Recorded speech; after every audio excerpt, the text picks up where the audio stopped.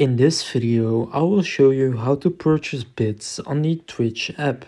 So what you want to do first is go ahead and open the Twitch app.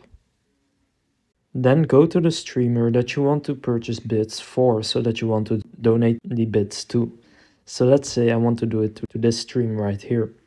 Then what you want to do is open up the stream and then in the bottom next to send a message you, you can see the icon next to the smiley. Click on that then it will say the chat rules. Go ahead and click on OK, got it.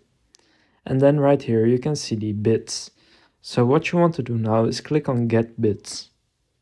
Now here you can choose how many bits you want.